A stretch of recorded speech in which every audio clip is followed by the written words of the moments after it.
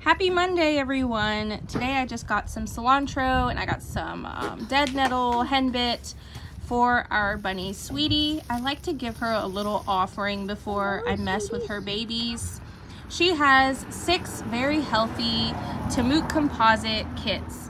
They are so precious and they come in a range of colors. Um, composites are known to be heat tolerant, which of course, when it gets too hot, you add a fan or water bottle. I mean, they're, they're just, they're like any other bunny.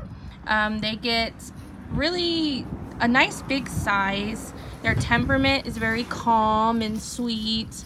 Um, and they're actually very good mothers. I'm shocked at how great the Tamuk composite mothers are. We are loving these little babies and we are just enjoying when they're small because they'll be hopping around all over the place very soon.